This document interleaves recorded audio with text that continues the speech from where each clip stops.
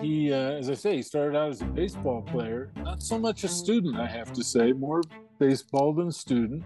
He got injured his freshman year playing baseball, and then I think started focusing on studies after that. The late 60s, time of turmoil on campus during the student movement, Vietnam War, and all that. Mike was uh, very much interested in those issues and active in them. By then, he was a very serious student, goes to graduate school, ends up with a PhD at USC.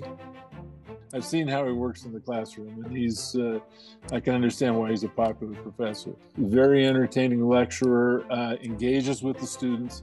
He, he has his views and he's passionate about principles that he believes in, but he's also very objective. He's able to analyze a situation or a, uh, an issue that's going on.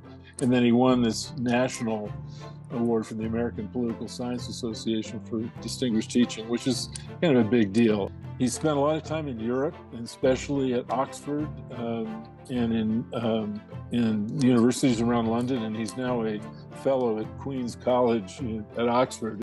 He's got friends in Parliament. He has met by force of his scholarly work, but also personality. He engages with people from all over. He's written more books than I've read. He's uh, written 50 books plus. Mainly they're uh, nonfiction and primarily focused on the presidency and issues related to the presidency. We head to Los Angeles now. Michael Genovese, the president of the Global Policy Institute. He's been a regular guest or commentator. You know, they'll bring him on like whatever the. Typically, there's a current issue. Um, um, and if, especially if it relates to the presidency, they'll bring him on and explain what's going on, explain the political implications, and also explain the governing uh, implication. California is also moving up its primary, right? And that's going to make us much more relevant because we might be the kingmaker mm. or the queenmaker. I like how you put that. He's able to take a kind of a fuzzy or complicated deal and and put it in terms that a a local news audience or even a national news audience can can understand. So interesting to have you here tonight. Thank you. What a night.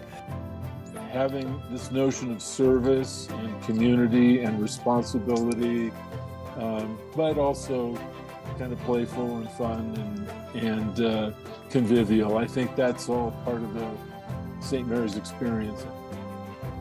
On behalf of the St. Mary's Alumni Association, it's my pleasure to honor Michael Genovese as the Alumnus of the Year. Congratulations, Mike.